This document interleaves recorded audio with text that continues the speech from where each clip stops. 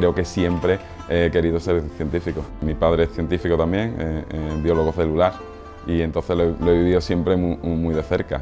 Realmente a mí lo que me interesa es, ese reto de, de intentar conocer cómo funcionan las cosas. En el laboratorio estamos interesados en, estudiar cómo se reparan eh, las roturas que ocurren en el ADN. El ADN es una molécula lineal, podemos imaginarlo con una cuerda, y es una cuerda que se rompe. Se está rompiendo continuamente en todas tus células. Lo que pasa es que tenemos unos mecanismos muy eficientes para repararlo.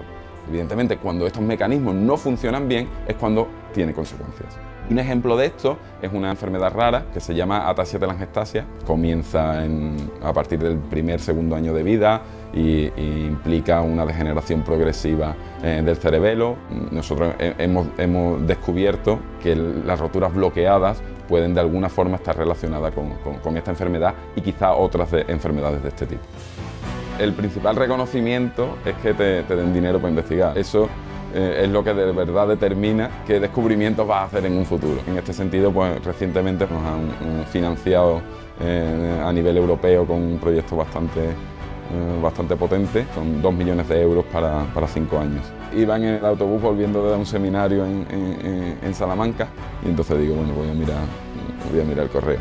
Y ahí estaba, y bueno, pues me puse a gritar en el autobús y a saltar en el autobús. supone un cambio total en la manera de hacer ciencia, tal como está la financiación en España, porque nos va a permitir dar un salto de calidad y poder eh, consolidarnos a, un nivel internacional.